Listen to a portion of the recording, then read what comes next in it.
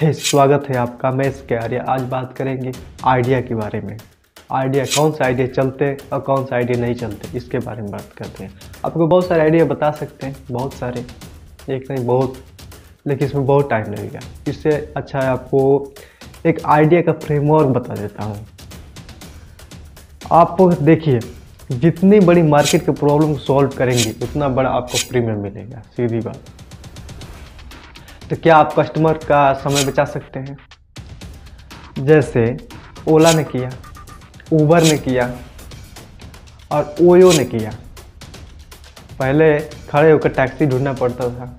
अब अब जो है, एक नया मॉडल आ गया है ओला बस बटन दबाओ, तुरंत ओला आई। ऊबर का वहीं है। बटन दबाएँगे, तुरंत ऊबर आई।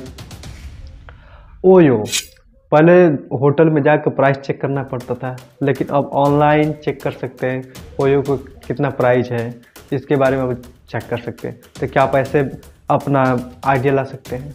क्या आप ऐसे अपना बिज़नेस स्टार्ट कर सकते हैं? ये पहला हो गया। नेक्स्ट आइडिया ट्रैवल एजेंट का काम ख़त्म कर दिया। गोइबो ने, क्या आप अपने बिज़नेस में ऐसे कर सकते हैं? अब आप ऐसा करेंगे तो आपका बिज़नेस चल जाएगा। नेक्स्ट आइडिया क्या आप अपने कस्टमर का कन्फ्यूज़न दूर कर सकते हैं, जैसे पॉलिसी बाज़ार ने किया। नेक्स्ट आइडिया क्या आप अपने कस्टमर का मेहनत बचा सकते हैं? जैसे लेंस कार्ड ने किया। वो आपके घर आता है, आप अपने आँखों का, आपके आँखों का चेक करता है, उसके वहीं पर चश्मा बनाता है डिज़ाइन करता है, सब काम वही करके दे देता है। क्या आप अपने बिज़नेस में ऐसे कर सकते हैं? नेक्स्ट आइडिया क्या आप अपने कस्टमर को स्किल सर्विस दे सकते हैं? जैसे Urban Company dietitian plumber, electrician, teacher, yoga teacher, interior designer, photographer.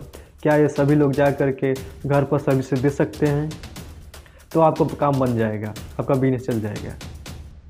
Stationery paperless हो गई, बिजली अब सोलर हो गई, किताबें किंडल पर शिफ्ट हो गई। बहुत सारे चेंजेज आ गए हैं। आपको जनरेशन के साथ बदलना पड़ेगा, तब जाकर आप बिज़नेस को स्किल कर पाएँगे, अन्यथा नहीं कर पाएँगे। वीडियो को लाइक करने के लिए, चैनल को सब्सक्राइब करने के लिए दिल की गहराइयों से प्रेम पूर्वक धन्यवाद।